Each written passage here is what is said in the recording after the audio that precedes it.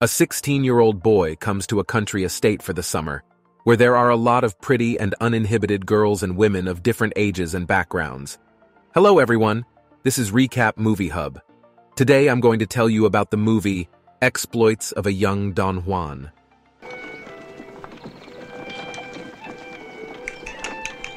On a trip to a country estate, a guy named Roger was fascinated by Mrs. Muller's maid's deep cleavage which he couldn't stop staring at. When he arrived at the place, he was greeted by his mother and aunt and his little sister Bertha, with whom they went for a walk. On their walk, they met Mrs. Muller again, who was picking fruit for Roger. Suddenly, before the boy's eyes, the maid lifted up the hem of her dress and went to the bathroom.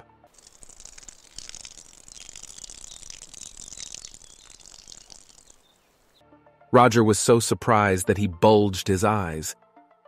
After they continued walking, Roger noticed Mrs. Muller's husband performing a ritual to wake up his brave soldier in the woods.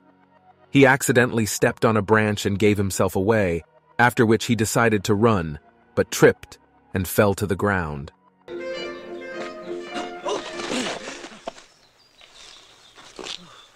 The sound of a woman's laughter nearby caught his attention, and he discovered a maid named Ursula singing songs while someone was sweating over her.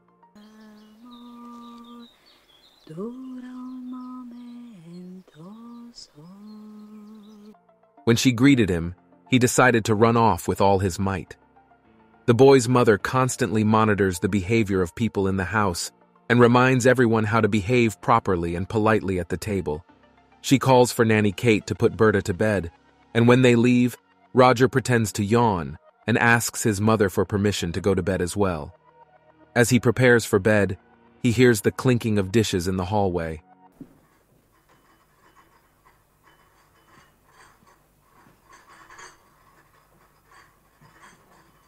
Looking out of his room, Roger notices Helen the maid, who is halfway out of the room because someone has attached themselves to the girl from behind. Shaking it off, Helen goes on to serve tea. The next day, Roger's father arrives at the manor with Lisa, his older sister. Buongiorno, Elisa.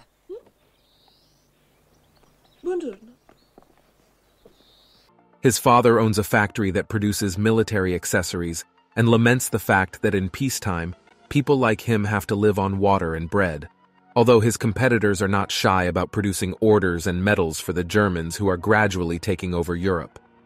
A few days later, on his way back from the farm where Roger has been spying on the maids, the boy meets Bertha, who takes her brother to a monastery where the women of the estate often go to confession. This time, Marguerite, Roger's aunt, came to the convent.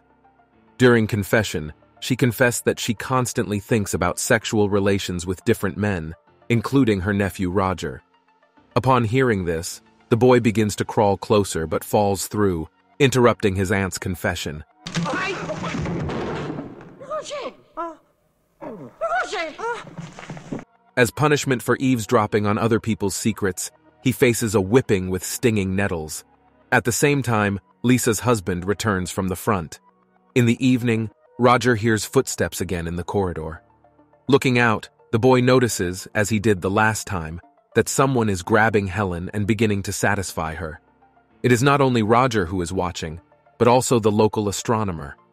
Climbing into the attic where the telescope stands, Roger discovers that he is watching not the stars at all, but those who make love under the moon. Nearby lies a little book, the Kama Sutra, which Roger steals and hides in the chicken coop. While studying the book in the barn, his hard manual labor is interrupted by one of the workers. Helen peeks through the window of the chicken coop, scattering bird feed. As the worker approaches her, he lowers the shutter, trapping Helen in the window.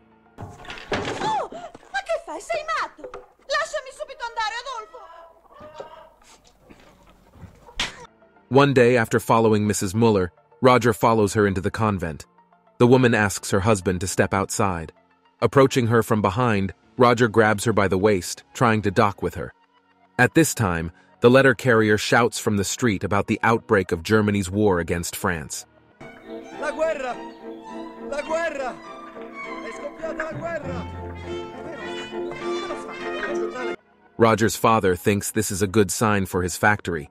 As it will begin producing medals and decorations, bringing him great profits. After all the men of the estate leave for the front, Ursula asks for Roger's help, as the lad's mother has allowed the servants to move into the house after there are no men left except Roger. The boy helps drag Ursula's mattress, which ends up benefiting the wallpaper. While swimming in the pond, Roger hears Bertha's nanny Kate singing. The girl hears about the boy's adventures, so, pulling up a hem, she invites the boy to her place. Allora, ne ho sentito delle belle su di lei. In the evening, Helen comes to Roger's room with tea. Since all the men have gone to the front, no one else uses the maid dirty in the hallway, so she comes to Roger, hinting at him in every possible way. After telling the boy that he's a good sleeper as it is, and without any tea, Helen is about to leave, but as soon as she crosses the threshold, Roger grabs her. The next day, Roger sees his sister Lisa on horseback and goes to the stables to get her. Hearing that Lisa is hot, the boy begins to undress her. The girl resists, but as soon as Mrs. Muller enters the stable, she calms down. After that, she jumped on top of the stallion herself. Since there are no men on the estate, with the exception of the recently arrived head of the family, as evening falls, the maids go to Roger for their portion of love. After Ursula and Helen, his Aunt Marguerite, and then Kate enter Roger's room. A short time later, Lisa announces that she is pregnant by her younger brother. This rather poignant conversation is interrupted by the roar of an airplane engine, in which Lisa's husband has flown in from the front.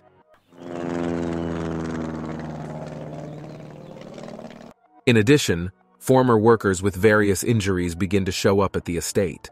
In the evening, Ursula walks into Roger's room to inform him that she too is pregnant. The boy offers the only solution to marry someone from the estate. Then Marguerite walks in with the same news as the others.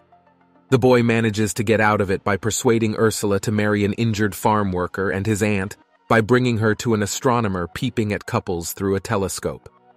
Roger stains Lisa's sheets with paint and suggests that her sister sleep with her fiancé to shift the responsibility of her pregnancy to him.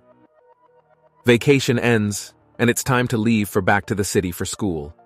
While Roger was packing his suitcases, he met Helen, who was also pregnant. Although all the maids of the manor were insistent on getting married, Helen declined the idea.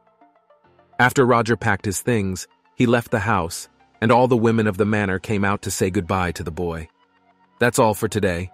Subscribe and like it if you want more videos like this.